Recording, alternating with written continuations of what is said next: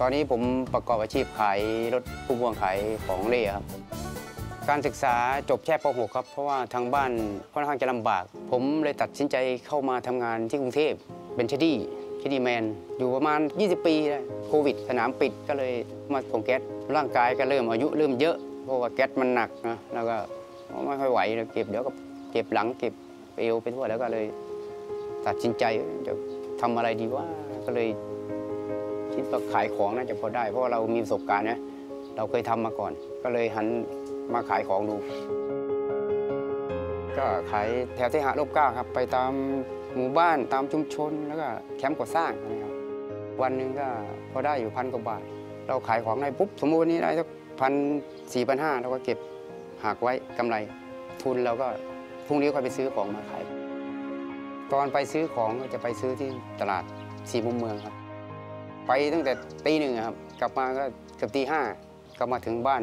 แล้วก็จัดของใส่ถุงเตรียมไว้เสร็จเสร็จแล้วก็ไปพักผ่อนไปนอนสักสี่ถึงห้าชั่วโมงครับ ตอนนี้อยู่สามคนอยู่กับแฟนแล้วก็ลูก แฟนคนนี้นะเจออยู่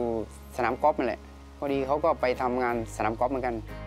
เขาเป็นผู้หญิงที่ดีมากเขารักลูกของเราไม่ใช่ลูกแท้ๆของเขานะแต่เขารักลูกเราแล้วก็รักพ่อรักแม่ของเรา เหมือนพ่อเขากับแม่ของเขาเลย ตอนนี้มีหนี่อยู่ประมาณแสนกว่าบาท เงินที่หามาได้เราก็ต้องเก็บ ตอนนี้มีค่าใช้จ่ายอยู่ประมาณ 20,000 บาทต่อเดือน ส่งงวดรถบ้างส่งให้ทั้งบ้านให้แม่บ้างแล้วก็ค่าเจ้าห้องด้วยกำลังใจก็คือครอบครัวก็เลยไม่ท้อก็เคยท้ออยู่แต่ว่าผมไม่ถอยครับ ผมจะสู้สู้อย่างเดียว ที่ผมมารายการดวลเพลงชิงทุนวันนี้ คือผมอยากได้เงินไปใช้หนี้เพื่อให้ครอบครัวได้สบายขึ้นคล่องตัวมากขึ้นแล้วก็จะได้มีความสุข ฝากถึง